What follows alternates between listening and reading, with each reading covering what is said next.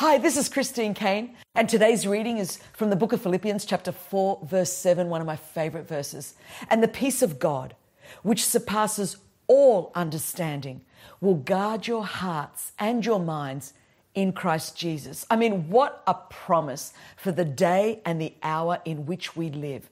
We, the world is full of darkness, the world is full of chaos, the world is full of anxiety, and yet this scripture promises that God's peace, it surpasses all understanding. Sometimes people say to me, Chris, I don't understand why you're not freaking out. I don't understand why you're so calm. Well, you know what? The peace of God, it actually surpasses all understanding. It doesn't make natural sense. Despite what's happening in the circumstances around you, you can find the peace of God in whatever situation you are. The Bible says that peace will guard our hearts. It will guard our hearts from stress and anxiety. So today, whatever you're confronting, whatever circumstance you're in, bring the presence of God into that circumstance. And I believe that God's peace will guard, protect your heart against the anxiety of this world.